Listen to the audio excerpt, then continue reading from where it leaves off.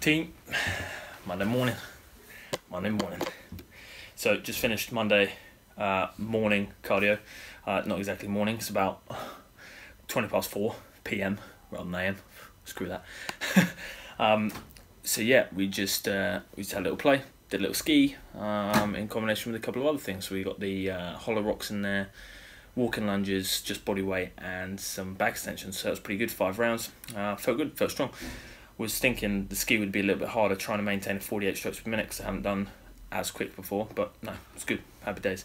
Getting changed now, get some food, go and coach. I, I choose not to stretch and make my body perform to its maximum. Otherwise, that I would feel that I'll be literally leaving George and Sarah in the dust, and they probably feel a bit bad. So I slow, I hold myself back, just so George is just a little bit above me. Otherwise, he would end up giving up CrossFit.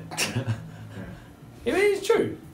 It's true. If, if it would, if, if I was, if I was all of a sudden overnight like that, which it could be if I wanted to, he, he would just be like, fuck CrossFit, it's gay. Let's pick something else that Brad shit." What you just, so you just admitted your shit? No, you'd pick, you'd, you'd find something that I'm shit at. Oh right. That's what I'm saying. You, you quit CrossFit and then pick something I'm shit at. Yeah, start being a long Start, distance runner. yeah, exactly. You'd start doing running. Yeah, you go- start doing running again. Like, yeah. Let's do basketball. Brad's short, fat, and can't jump. Them boys up to something, they just not just bluffing. You don't have to call, I hear my dance like Usher. Ooh, I just found my temper. Let, us try basketball again. yeah, no trampolines. Mate, to be fair, I, believe it or not, I used to have people come up to me and say, "Aren't you a bit too short for basketball?" Really? Yeah, because I'm six one, so technically yeah, it's pretty short in basketball Yeah, terms. some basketball is pretty short. So, So session's done. Um, yeah, we're going on. we got into training now. Just done some ability drills. Right here, take a look.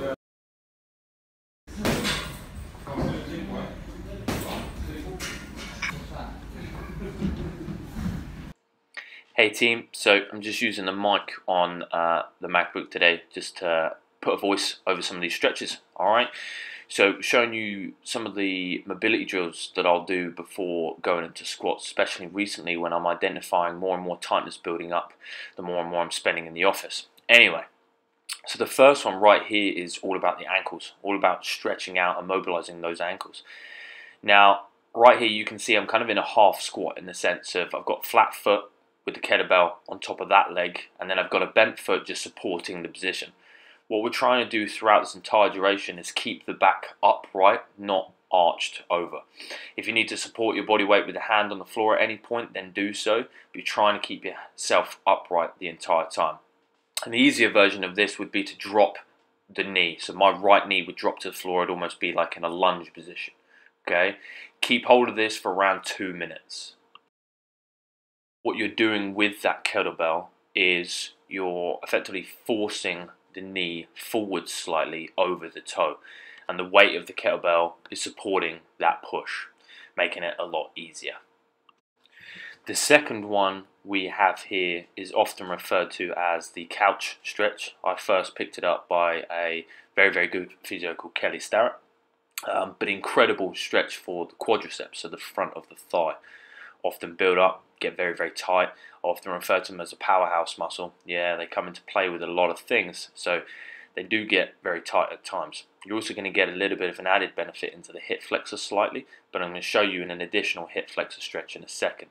Now, all we're going to be doing is much like a lunge position, really, placing the leg behind us, if we can, holding our body upright the entire time. If that's difficult, then you can have the hands down towards the floor all right, just to take the pressure off slightly from the quad.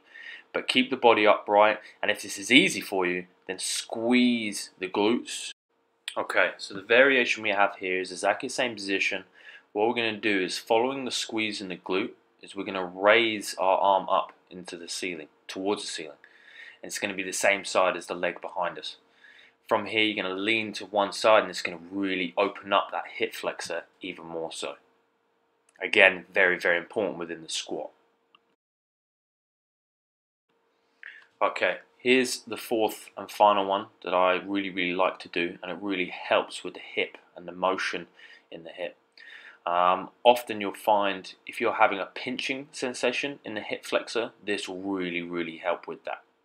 So, as you've seen, I've placed my leg within the band, and it needs to be a fairly strong band. Okay, distance yourself away from it so you've got some strong resistance on there. You're then going to very slowly push the knee in and back out, in and back out. Okay, once you've done that around 10 times, you're then going to place the hands down to the floor or keep yourself upright, either is fine, and just simply hold the band there, allowing it to pull on the hip. You may have noticed as well as when I put the hip around, uh, sorry, when I put the band around my hip, it's very, very tight to the very top of my hip. Okay.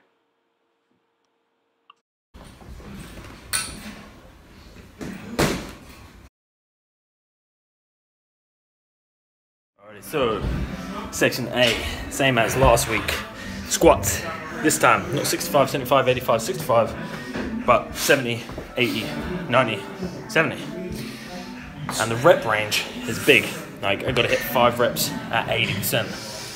Um, bear in mind I hit three reps at 85% last week, so this is to be very, very interesting. Just did three reps at the 70 as required, and it felt heavy. So yeah, it should be interesting. I want three reps at least, obviously. I should be getting five, but we'll see what happens. Um, yeah, see where we go. How you feeling, Brad? Ill, but all good. Feel, feel, I feel stronger than I expected. I expected to feel quite weak and struggling, but no, they felt fine. What's that on the, on the bar now? Uh, 115. Felt like for free, felt good. I felt I had more definitely in the tank, but Cool. we'll see what happens when it gets bigger. The way you double check your inch, make sure.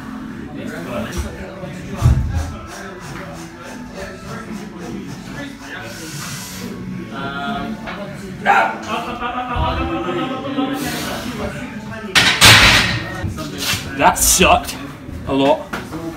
Goes to show that 155 is no longer my one rep max, which is annoying, but goes to show six months of not doing heavy back squat means I ain't gonna be as good.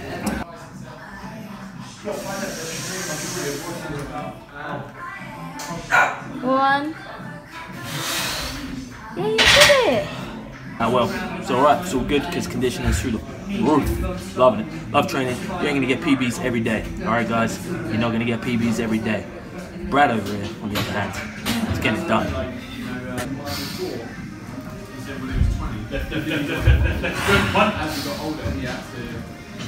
Push, push, push, push, push. That's right, something else. Push, push, push, push, push, push. One more.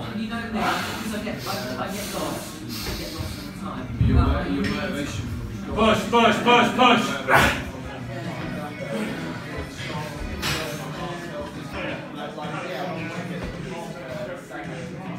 I'm pretty sure I need that right shoulder, man. That right shoulder.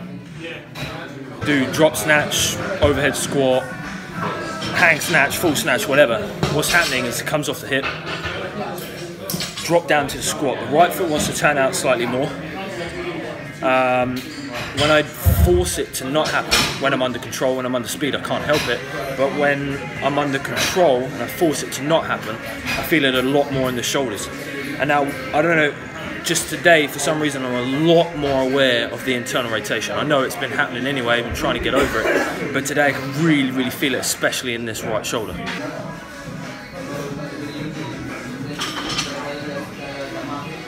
Good. Two more the same, man.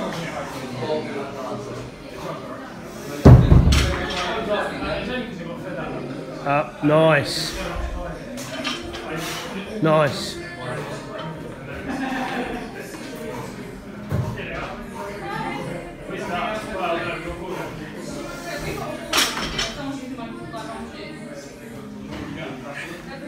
Two, one, go for it.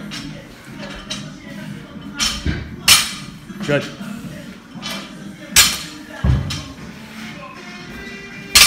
Matching t-shirts today. All right, so Brad's starting first. We're going into Metcon time now. 21, 15, 9. Power snatch, progressive loading. First set 50%, second set 60%, third set 70%, and a three minute row. Two minute rest between rounds. And uh, yeah, just keep going until you can't do any more. Go on, Brad. How many? Good man. Woo! Here he is. Man of the hour. I've just looked in my eyes in the mirror, look how bloodshot they are. That's what CrossFit does to you. Anyone think I'm on crack or something? This is crack. CrossFit crack, baby. Eating an apple. In between rounds. Gotta stay fueled up, yo. so, Brad's down there. So, is it? It's a bit gay, in it? No? Nah. So, we just finished three rounds, 10, 10 pistols, 20 kettlebell swings. I did 32, Brad did 24. Into 10 pistols, into three minutes air. At 70% effort, which is coming up a lot recently, so we're getting all right at that now. I don't dread the Airdyne as much as I used to, but it still sucks. Um, and then two minute rest. me after two rounds because I was more like 95% on everything and Yeah. like I was going to pass out. Yeah, this is the thing, guys. Is working hard is good. Like working hard, fucking, that's the best thing you can do. I was speaking about this yesterday, right? Hard work beats talent, 100% of the time. But at the end of the day, you got to listen to your body at times. You got to push your body to the max. But you go beyond that max, you're gonna end up being sick. You're gonna miss training the next day, the next couple of days, and then who's winning? The other guy's training hard in the gym, still training every single day, and you're sitting in bed puking your guts out. So you got to work hard, but you got to know your limit too. Um, training is about pushing those limits, but it's now when to stop as well. Train with someone better than you, but always compete with yourself. That's right. That's what I've learned. That's right. You always got to compete against yourself. It's good to train with people better than you. Definitely. That's how you progress. That's how you get If better. you compete against the people that are better than you, you end up like me, demotivated like I was at the beginning because all I would Yeah, do is try and that's keep it. up with this mofo. That's it. Just get down, get dirty, compete with yourself, beat yourself every day. That's what Brad thinks about more training.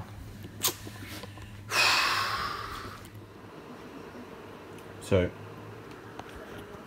this is my new, or one of my favourite meals, done by this beautiful person over here. Especially after a big goddamn squat session. Pie, pie, and more pie. Potatoes, lovely, fried potatoes. And you got to get the veg in there.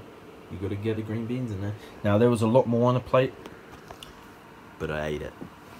I'm still eating now, but I had to say how awesome this meal is right here.